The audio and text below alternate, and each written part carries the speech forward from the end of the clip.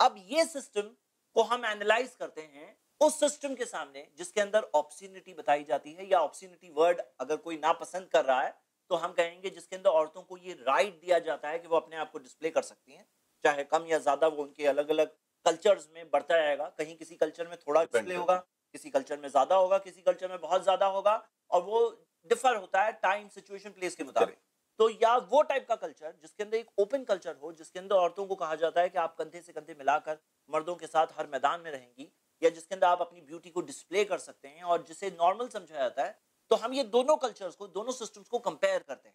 मैं अपने सारे ये प्रोग्राम के व्यूअर्स से एक रिक्वेस्ट कर रहा हूँ कि जब हम ये एनालिसिस करेंगे तो काइंडली आप इसे एक ऑनेस्ट हियरिंग दीजिए।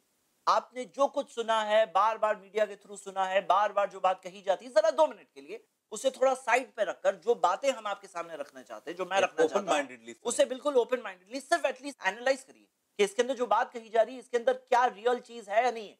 एक बार सुनिए। आप इसको बिल्कुल ओपन माइंडली सुने और गौर करें कि कितना कंपैरेटिव एनालिसिस है। हम जब इस पे आते हैं तो हम ये जब दो सिस्टम्स को सामने लाते हैं तो व्हाट डू वी सी मैं कुछ कंटेंट रेज करना चाहता हूँ मैं कुछ सवाल पूछना चाहता हूँ। सबसे पहला सवाल एक नोन फैक्ट है और ये नोन फैक्ट ये है कि दोनों जेंडर्स में एक अट्रैक्शन होता है। अगर ये अट्रैक्शन होता ही नहीं नेचुरल है। तो ह्यूमन रेस कंटिन्यू नहीं हो सकती जैसे मिसाल के तौर पर मैग्नेट के ऑपोजिट पोल्स में एक अट्रैक्शन होता है। जी।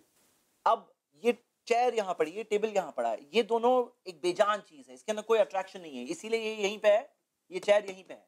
ये जाकर चिपक नहीं जा रहे बार बार लेकिन ऐसा मामला मर्दों औरतों का नहीं है। ये एक नेचुरली एग्जिस्टिंग अट्रैक्शन है जो इंसानी नस्ल को आगे कंटिन्यू होने के लिए ज़रूरी था। सारे लिविंग क्रीचर्स में मिलता है। आप अगर देखेंगे, कुछ जानवर भी होते हैं जो अपने मेट्स को किसी तरह से अट्रैक्ट करते हैं। ये अट्रैक्शन एग्जिस्ट होता है। तो ये जब अट्रैक्शन है और अनडिनाइबली है, इसके बहुत सारे एविडेंसेस है। एक मिसाल है एडवर्टाइजमेंट्स की। एडवर्टाइजमेंट्स में दिखाया जाता है कि टायर की एड होगी। इंडस्ट्रियल प्रोडक्ट्स की एड्स होती है। उसमें भी औरतों को लाया जाता है।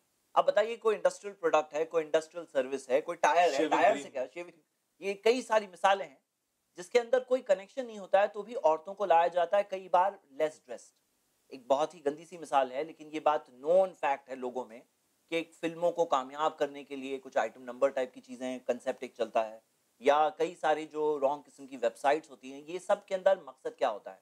पॉइंट क्या है कि लोग इस अट्रैक्शन को यूज़ करते हैं और अपने प्रोडक्ट्स बेचने के लिए।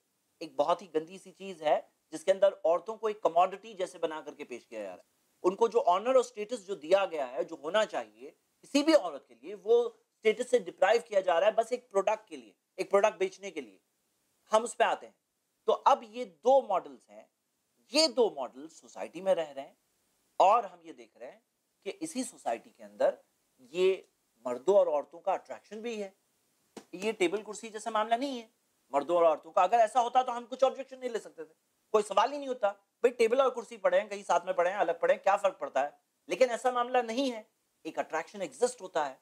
और जो अट्रैक्शन नोन है, जो एक इंसान चाहे कितना भी आर्ग्यू करे, क्योंकि मैंने देखा है कि लोग इस मौजूद पे जब आर्ग्यूमेंट्स पे उतरते हैं, इस बारे में भी आर्ग्यू करते हैं। बोलते नहीं है कुछ भी।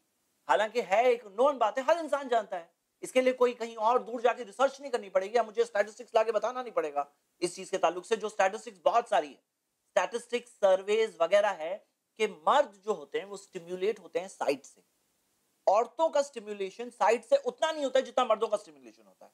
औरतों का ज़्यादा स्टिम्युलेशन जो होता है, वो टच से होता है। ये कई सारी स्टडीज़ है जो बताती हैं। लेकिन ये एक नॉन फैक्ट है। ये हर कोई जानता है। अब हम ये देखते हैं कि ये मर्द और औरतें जो ऐसी सोसाइटी में रहते हैं, जहाँ पर इंटरमिंगलिंग है, जहाँ पर औरत अपनी ब्यूटी को डिस्प्ले कर रही है, जहाँ पर एक साथ में काम कर रहे हैं स्टडी कर रहे हैं मिलजुल रहे हैं, उठ बैठ रहे हैं, बातें कर रहे हैं, मज़ाक कर रहे हैं, बहुत कुछ हो रहा है। तो वहाँ पर क्या क्या हो सकता है ही नहीं होता है।